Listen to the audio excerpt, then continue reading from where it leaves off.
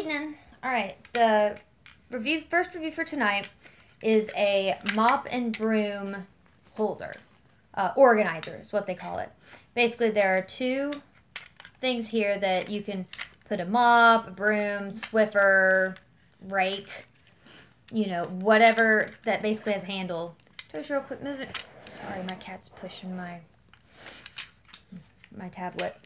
But, um, and then it's got another hook here.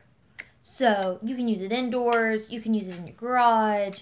Uh, we're going to be putting this in our mother-in-law suite. I'm sorry, there are three hooks. I didn't even notice the other two.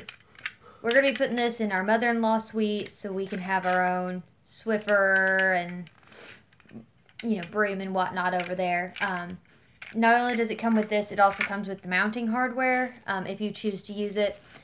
Uh, but yeah, so it's really neat because these adjust. So whether you've got something with a thick handle or a thin handle, unless it's thinner than this, this will hold it. So go check it out. Let me know what you think. If you've got questions, comments, profound thoughts, let me know. Thanks much. Bye.